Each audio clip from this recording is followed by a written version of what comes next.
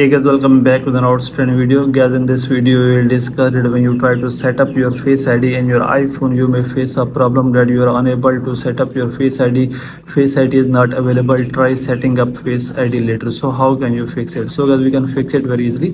So let's check guys you may just open the settings of your iphone ipad or any other ios gadget.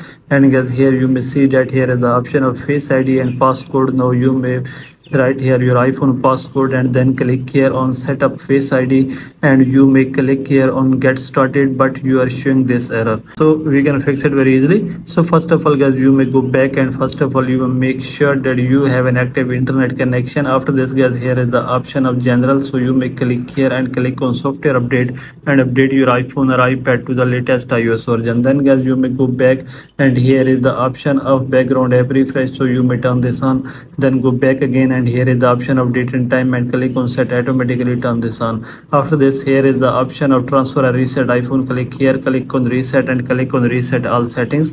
Then guys you may go back and you may just restart your device and check that your problem will be fixed. If your problem is still not fixed by all these methods then you may click here on transfer or reset iphone again and click on erase all content and settings and guys you may create the backup of your iphone before erase all content and settings. And then guys you may go back and you may just erase your iphone or reset your iphone. And then guys you may check your problem will be fixed.